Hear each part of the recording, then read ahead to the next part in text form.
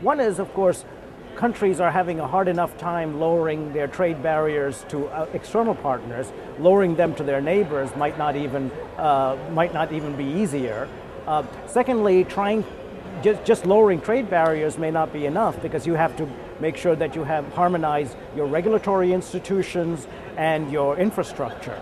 Now, given how weak some of those regulatory institutions are to begin with, getting them to harmonize across countries can be even more difficult. And then finally, Africa is a, large number of small countries.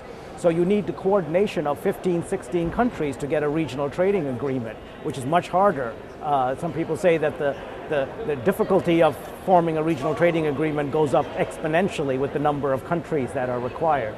So it's much easier if it's just two countries or three.